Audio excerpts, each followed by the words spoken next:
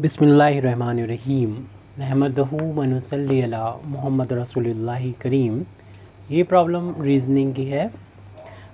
रबी का सबसे बड़ा भाई अब नाश है, अविनाश है।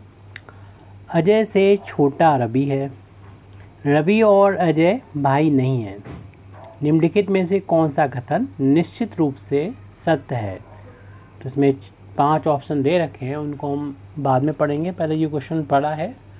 उसके अकॉर्डिंग हम इसको यहाँ पर सॉल्व करने की कोशिश करेंगे। और यहाँ पर दे रखा है रबी का सबसे बड़ा भाई अविनाश है। तो यहाँ पर ये बड़ा या छोटा जो बताया गया है, वो उम्र के रिस्पेक्ट में बताया गया है एज के रिस्पेक्ट में बताया है। इनकी आयु के रिस्पेक्ट में बताया गया है। आयु यानी एज तो सबसे बड़ा भाई बताया गया है अविनाश। तो इसको हमने बना दिया है यहाँ तक अविनाश। अविनाश को यहाँ बना दिया हमने। ये इसकी उम्र को डिनोट कर रहा है, ध्यान रहे। इसकी आयु को, एज को डिनोट कर रहा है। इसकी लंबाई को रिप्रेजेंट नहीं कर रहा ये। किसका भाई है? रबी का भाई है। पहला सेंटेंस था। तो यहाँ पर हमने ये बना दिया रबी एक तीसरे व्यक्ति की बात चल रही है।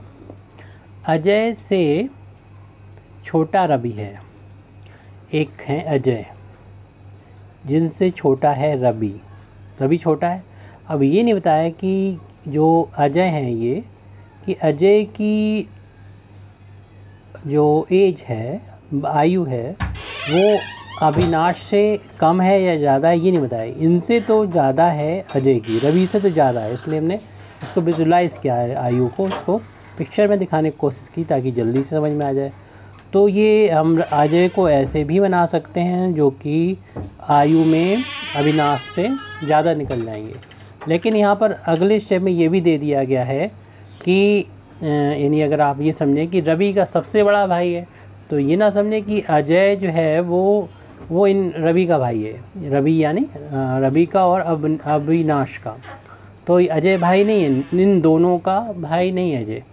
तो इसलिए ये बात सिर्फ़ रवि और अविनाश के लिए थी कि कि रवि का सबसे बड़ा भाई अविनाश है। अजय अलग है, इनका भाई नहीं है, ये बता दिया गया यहाँ पर। अब हम लोग अपना जो कथन पढ़ेंगे चारों, और उनको देखेंगे कौन सा सही हो सकता है या नहीं हो सकता है।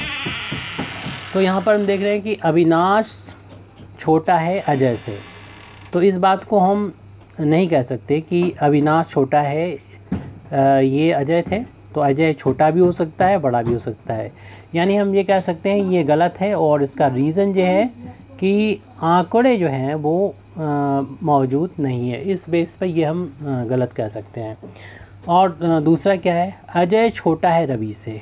अजय ये है, ये रवि छोटा है। तो ये बात गलत है, लेकिन इसके लिए हमारे जो आंकड़े हैं वो मौजूद हैं। आंकड़ों के बेस पर ही हम कह सकते हैं कि रवि छोटा है और अजय बड़ा है। इन दोनों ही केसेस में रवि से अजय बड़ा है और ये आयु को रिप्रेजेंट कर रहे हैं। ये लेंथ और ये सही है। यानी आंकड़े यहाँ पर मौजूद हैं इस बात के लिए कि हम इसको कह सकते हैं ये चीज़ लिखिए गलत है।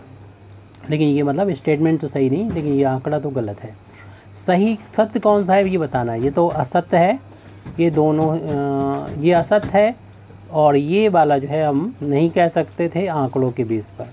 तीसरा है कि अविनाश से अजय छोटा है। अविनाश से अजय छोटा है। तो ये दोनों एक ही बात हो गई कि हम नहीं बता सकते कि अविनाश बड़ा है या अजय। अजय छोटा भी हो सकता है और बड़ा भी हो सकता है, क्योंकि इसके लिए हमारे पास आंकड़े नहीं हैं। तो आंकड़ों के बेस पर इस चीज़ को हम नहीं बता सकते। इसके लिए आंकड़ा मौजूद नहीं है। चौथा है कि रवि अजय से लंबा नहीं है। तो यहाँ पर जो बताया गया था कि रवि छोटा है अजय से, ये आयु बताई गई एज और जबकि यहाँ पे ये लंबाई डिनोट कर रही है तो लंबाई के लिए कोई भी आंकड़ा मौजूद नहीं। तो ये स्टेट भी हम हम नहीं कह सकते कि सही होगा या गलत होगा, क्योंकि आंकड़े इसके मौजूद नहीं, लंबाई के आंकड़े नहीं दे रखे, ये आयु के दे रखे थे। अब लास्ट वाला आ जाता है कि आंकड़े अपर्याप्त हैं। यानी इन सभी बातों को पूरा करने के लिए आंकड़े अपर्याप्त हैं। जैसे ये इसके लिए तो आंकड़ा मौजूद था हमारा कि अजय छोटा है, रवि से। और ये चीज़ है असत्य या हम कह सकते हैं कि असत्य है। सत्य पूछा जा रहा है कौन सा है। तो आंकड़े के बेस पर हमने कह दिया कि हाँ ये असत्य है, लेकिन ये सही नहीं है। तो इनमें से कोई भी सही नहीं था। कुछ तो आंकड़ों के बेस पर नहीं सही था और कुछ आंकड़ों के बेस पर ये गलत था। तो फिर हम यही आंसर लगाएँगे। फिफ्थ वाला ही सही टिक करेंगे। कि आंकड़े अपर्याप्त हैं। Thank you very much indeed for listening me व आखरुद्दावाना अलहमदिल्ला रबालमीन